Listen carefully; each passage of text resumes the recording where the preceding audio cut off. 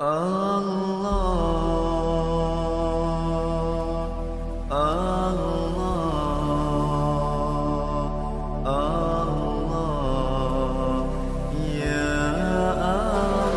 dan selamanya kita banyakkan syukur kepada Allah kerana Allah SWT telah himpunkan kita di sini atas maksud kasih sayang.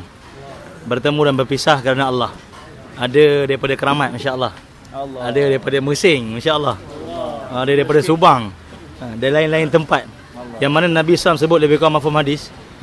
Di Yaumil Mahsyar ada tujuh golongan yang mendapat lindungan di bawah arasy Allah Subhanahu taala. Antaranya mereka yang daripada lain kampung lain tempat. Berhimpun atas masuk kasih sayang. Semata-mata kerana Allah. Dan kita berhimpun ni bukan maksud lain mereka masuk kasih sayang je. Selain nak makan lah. Saya nak makan kita berhimpun atas masuk kasih sayang. Apa yang rahmati Allah Subhanahu wa taala.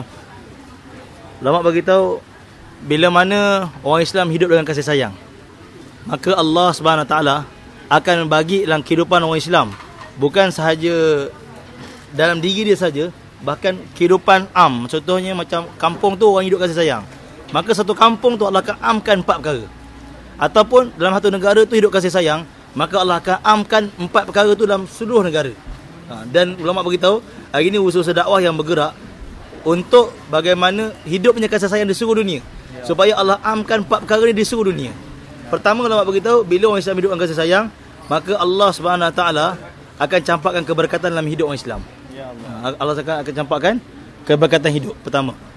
Yang kedua, Allah Subhanahu taala akan bagi nusrah. Allah akan bagi bantuan. Baik daripada nusrah yang umumi, yang biasa ataupun nusrah ghaibi, nusrah yang luar biasa. Bila mana orang Islam hidup dengan kasih sayang, pertama Allah Subhanahu wa taala akan bagi keberkatan dalam hidup. Keberkatan ni diterjemahkan dalam banyak maksud lah. Ha, ada orang dia kehidupan dia nampak macam biasa tapi dia cukup. Ni berkat orang beritahu.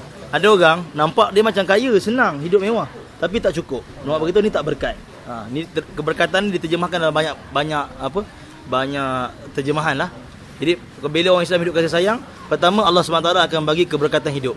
Yang kedua Allah Subhanahu Wa Taala akan bagi nusrah. Baik nusrah umumi, nusrah biasa, bantu Allah yang biasa ataupun nusrah ghaibiyah. Bantu Allah yang luar biasa bila mana orang Islam hidup dengan kasih sayang. Yang ketiga, bila orang Islam hidup dengan kasih sayang, maka Allah akan makbulkan doa orang Islam. Doa-doa dikabulkan. Ini nama bagi tahu. Kan? Apa orang Islam hari ini tidak hidup dengan kasih sayang sebab tu kita lihat ada banyak doa-doa yang tak dikabulkan. Okey, ini ketiga kasih sayang. Yang keempat, bila orang Islam hidup dengan kasih sayang, kan? maka Allah Subhanahu Wa Taala akan bagi dalam kehidupan orang Islam tadi bila mana dia hidup dengan kasih sayang maka akan tersebarnya kebaikan Ha, kebaikan akan tersebar bila mana orang Islam hidup dengan kasih sayang. Tapi ulama beritahu, bila mana sebaliknya, orang Islam tidak hidup dengan kasih sayang. Bahkan uh, dia memuliakan orang kafir melebihi orang Islam. Dengan orang Islam dia suka gaduh. Dengan orang kafir dia saling menghormati. Dia sanjung orang kafir. Orang Islam dia gaduh. Asal silap je orang Islam ni, kena je. Tapi dengan orang kafir itu dia terbalik pula. Ha, kan kita aizzatul aizzatul uh, al mu'minin Ha, wa ajratul al kafirin kan dia terbalik pula. Dia saling memulia dia memuliakan orang kafir menghina orang Islam terbalik pula. Maka empat perkara akan berlaku ulama beritahu. Pertama dia angkat maka uh, pertama ulama beritahu dia angkat keberkatan hidup. Hidup orang Islam tak berkat lagi dah. Selalu tak cukup. Ada tak cukup tak cukup tak cukup. Tak berkat lagi dia orang Islam. Yang kedua tidak akan mendapat nusrah bantu Allah Taala lagi bila mana tidak ada hidup kasih sayang. Orang Islam tidak akan dapat bantu Allah Taala. Walau dalam kesusahan macam mana sekalipun. Kesusahan yang sepatutnya Allah Taala bantu dia kebiasaannya macam ni patutnya Allah dah bantu dah. Tapi Allah tak bantu. Sebab apa? Dekat kampung tak ada hidup kasih sayang. Ha. yang ketiga doa tak dikabulkan lagi. Kita lihat lagi ni kan Allah beritahu di Syria diserang di Palestin diserang Palestin diserang dari zaman dulu. Dan yang doa ni bukan kita saja dekat Putrajaya ni. Yang doa ni Imam Mekah kata Muhammad Tariq Jamil yang doa ni Imam Mekah. Dan imam tu doa di depan Masjidil Haram. Eh di depan Kaabah. Dan tempat yang sangat makbul di waktu yang sangat makbul 27 Ramadan. Di doa panjang kan? Doa kunut 27 Ramadan kan? Doa penutup 1 30 juzuk kan? Tapi sampai sekarang ini orang Palestin diserang. Sampai sekarang orang Syiah masih diserang. Sebab apa? Sebab kasih sayang tidak wujud sama orang Islam. Dan yang keempat bila mana orang Islam tidak wujud kasih sayang sama mereka maka Allah Subhanahu Wa Taala akan campak kegerunan dalam diri orang Islam terhadap orang kafir dan orang kafir akan bunuh orang Islam ni empat perkara berlaku yang beritahu ni adalah seorang ulama di Mekah, Syekh Faruq Al-Makki. Dia beritahu.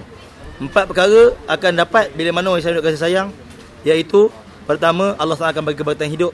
Yang kedua, Allah Subhanahu Wa Taala akan bagi nusrah sama ada nusrah umumi, nusrah biasa ataupun nusrah ghaibiyah, nusrah yang luar biasa, luar jangkaan. Yang ketiga, Allah Taala akan bagi kepada orang Islam tadi. Bila mana dia hidup dengan kasih sayang, doa makbul. Yang keempat, tersebarnya kebaikan. Tetapi sebaliknya bila tak hidup kasih sayang, maka empat perkara yang berlaku ulama beritahu. Yang pertama tidak ada keberkatan hidup. Yang kedua doa apa tidak akan dapat bantuan Allah Taala lagi. Yang ketiga doa, doa tak dikabulkan. Yang keempat Allah akan campak kegerunan pada orang kafir ya, di orang Islam kepada orang kafir. Ha, dan dia rasa orang kafir lagi hebat pada dia. Dia, dia takut bila orang kafir cakap ya ya je. Dia, dia tak boleh lawan, dia takut. Padahal negara dia, tempat dia, dia, dia tak boleh nak lawan. Sebab apa? Sebab tidak ada kasih sayang. Dan Allah Taala bagi kekuatan untuk orang kafir bunuh orang Islam. Ini ini perkara yang berlaku ulama beritahu. Dia tidak hidup kasih sayang. Maka ulama beritahu pentingnya orang Islam ini hari ini hidup dengan kasih sayang. Bagaimana nak wujudkan kasih sayang ni ulama beritahu? Maka kena buat tiga perkara. Perkara yang Nabi SAW sebut untuk satu orang tanda makbul haji satu orang, perkara itulah yang kita nak buat untuk wujudkan kasih sayang.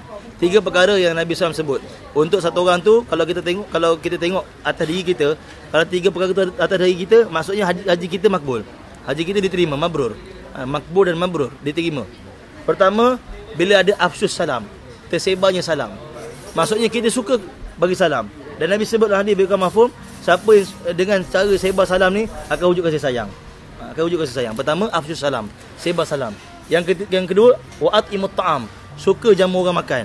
Ha, pergi minum apa semua kan. Kadang orang ni bayar, kadang orang tu bayar. Akan wujud kasih sayang.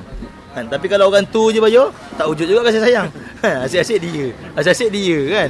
Wujud kasih sayang bila saling siapa sama kawan-kawan saling memahami wa atimut ta'am suka jamu orang makan yang ketiga tibul kalam bila wujudnya perkataan-perkataan yang baik berbicara dengan kawan-kawan dengan perkataan yang baik ulama begitu perkataan baik ini perkataan agama cerita pasal agama cerita pasal dakwah kepada Allah inilah dia tibul kalam perkataan yang baik. Maka dengan perkara tadi ulama beritahu dan ada tambahan setengah ulama tambah dua perkara iaitu banyakkan ibtisam suka senyum.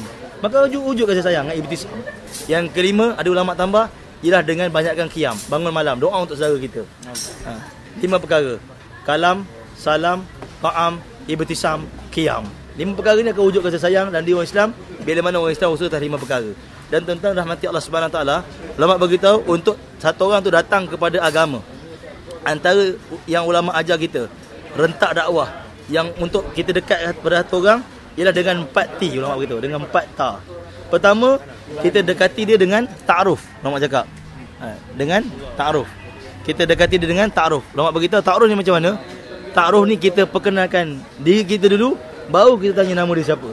Hari ni setengah orang ulama cakap dia selalu salah faham. Dia suka tanya orang dulu, nama siapa?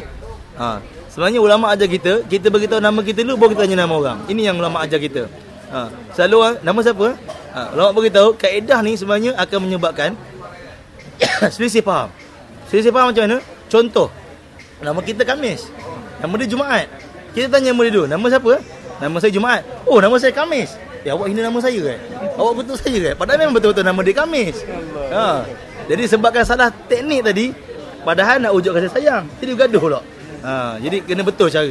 Tak, Pertama ta'aruf T. T yang pertama ialah Ta yang pertama ialah ta'aruf Iaitu kita tanya nak kita kita beritahu nama kita Kita jual Kita tunjuk barang kita tu Baru tengok orang punya. Maksudnya macam tu contoh ulama. Nama saya Farhan Nama tuan siapa? Ha, Jadi Kenal nama kita Tanya nama orang. Pertama ta'aruf Yang kedua ta'aluk Untuk kita dapat bawa orang Satu orang kepada agama Kita kena ta'aluk hati dia Takluk macam mana ulama beritahu? Kita cuba kuasai dia. Tuan tinggal kat mana? Saya tinggal kat Kelantan. Oh Masya Allah. Saya selalu pergi Alustar. Ha, padahal dia pun tak tahu Kelantan kat mana. Tapi nak cerita dia nak takluk kan tu. Sampai dia, dia cuba cari apa yang kau boleh sama dengan dia. Oh, tuan tengok mana? Jo. Oh Masya Allah. Saya JDT tu memang saya minat betul. Ha, padahal tak minat pun. Ha, dia duduk kutuk JDT tak ada pemain Johor. Dia lah kutuk. duduk kutuk-kutuk tu dia selalu kan. Tapi nak ceritanya dia nak takluk, nak nak tarik orang tadi. Ha, yang kedua takluk. Lama beritahu, takluk ni kita kena cuba ambil dalam tempoh masa yang agak lama.